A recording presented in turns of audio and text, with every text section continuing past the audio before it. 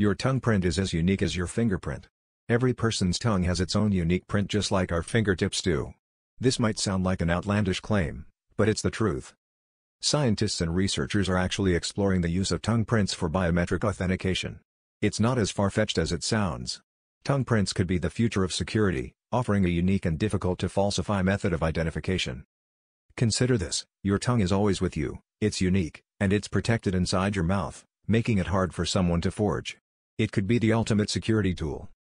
So next time you stick out your tongue, remember, you're not just making a face, you're showing off a unique identifier, a badge of your individuality. Sub to my channel you want more crazy facts.